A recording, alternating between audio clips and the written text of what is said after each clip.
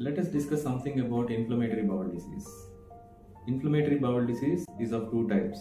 One is Crohn's disease, the other one is ulcerative colitis. Crohn's disease can involve any part of the intestine starting from mouth to the anus, whereas ulcerative colitis it usually involves the rectum and from there it can ascend to any extent above. Sometimes the whole colon can uh, have ulcerative colitis. Sometimes the ulcerative colitis can be limited to the left colon or to the rectum alone. These two conditions are very troubling, troublesome conditions which are initially treated by medical management. So when do these conditions require surgery?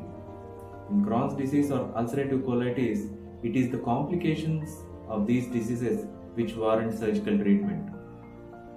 If you see ulcerative colitis, patients who are not responding to medications or patients who develop complications of ulcerative colitis like toxic megacolon or perforation of the colon or severe bleed from these ulcerative colitis, they require surgery.